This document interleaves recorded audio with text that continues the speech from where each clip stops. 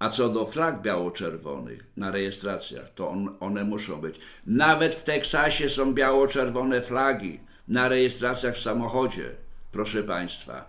Proszę zadzwonić do Stanów Zjednoczonych, do znajomych, przyjaciół, rodziny, to Wam powiedzą.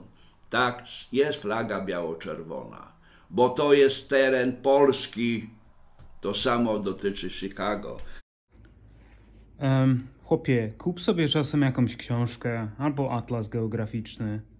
Bo flaga Teksasu tak, ma biało-czerwone kolory, ale to zupełnie inna flaga. To nie jest flaga Polski.